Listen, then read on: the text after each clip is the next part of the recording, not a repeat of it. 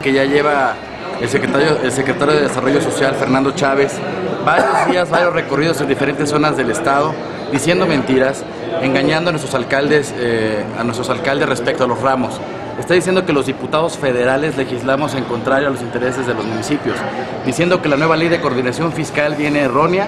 viene con trabas, cuando es totalmente mentira, cuando los diputados federales lo que hicimos fue ampliar el catálogo en los cuales pueden usar esos ramos,